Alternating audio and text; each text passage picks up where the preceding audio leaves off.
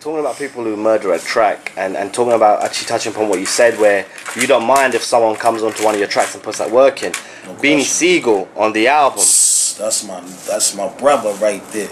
he um He went in. You know what I mean? yeah he killed that. Yeah, I mean the, the the beat is hot, yeah. but his flow, his, his what he's talking about. Yeah. I mean I think essentially the way I saw it, he was talking about life in jail, like being that in that trap, being trapped. but- mentality. Yeah. man. yeah, yeah, yeah. That mentality. I mean, number one, you know me. I, I'm I fuck with all the realest niggas in the game. You know what I'm saying? All the real niggas love me. Like I can literally get anybody in the game who I felt if I want to get the niggas pounded out, I can get them pounded in any city. You know what I mean? I got MCs that'll jump in beefs for me Wow. just because they love me like that. You know what I mean? I got dudes that'll really make it hard for a lot of dudes to survive in the game. You know what I mean? And these are the dudes that really respect me and they count on me to be who I am. You know what I mean? Which is that real nigga 24 7. But we keep it cool, we keep it humble. You know, all praises due to the Father. We not here for negativity, but we're just here to really look out for one another yeah. and that's the kind of relationship that I have with Sigel. You know, we should have been doing things years ago, but it was just the timing. You know, we wasn't able to be around each other the way we were when we was putting it in on this joint. But I felt that that beat had his name on it.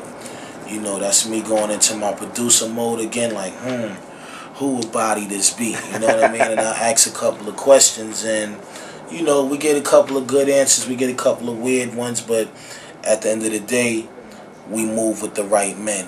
You know what I mean? We grab the right men. I'm talking about these dudes have have the same energy that I have. Mm. You know, come from the same school that I come from. You know what I mean? And it's like, yo, it got their name on it. It's the same way how when I did the Skew It on the Bar-B with Big Boi and Outkast. Yeah. We knew we was gonna make a collaboration, but they didn't know which direction we was gonna go with the production. See, I'm always coming in some kind of way, sticking my two cent in on the beat Mm. because I know how we supposed to sound as Right. as that collaboration. We've been doing this shit since the the Jodeci era. You know what I mean? We've been doing this when we've been saying songs like Method Man is gonna knock y'all out the park. You know what I'm saying? When we knew Protect Your Neck was the truth, when we knew Triumph was going to blow your head off. You know what I'm saying? These are all the things that I always had my ears and eyes on. You know what I mean? Coming up in this business. You know, I feel like I have become successful by watching other people who I help become successful. You know what I mean? That made me more successful. You know, it ain't so much about the money side of it, it's about the respect side. And I have a lot of insurance in this business when it comes to respect. I have a lifetime, Plenty. you know what I mean? Yeah.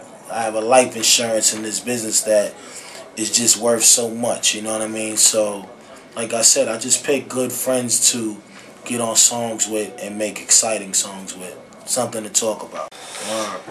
Now, yesterday, uh, Method Man was speaking to MTV.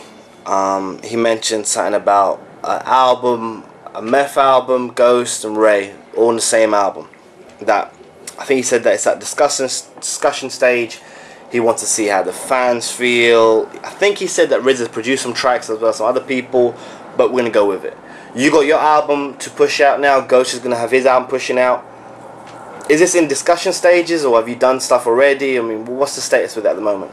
Um, it's definitely in discussion stages, you know what I mean? Where it's like, you know, we all, you know, we all want to do more things with one another because we know that's what the fans want, and of course we want that too. But it has to make sense, you know what I mean? Everything has to make sense. You know, we know that we're the guys in the crew that really can pull everybody even more closer together, you know what I mean? Because we are so much a little bit more on the more heard and seen level. And um, at the end of the day, I think it'd be cool. It's just that the politics of everything gotta be dealt with a certain way, far as the label, what label is gonna be on. You know, my thing right now is to run an independent ship.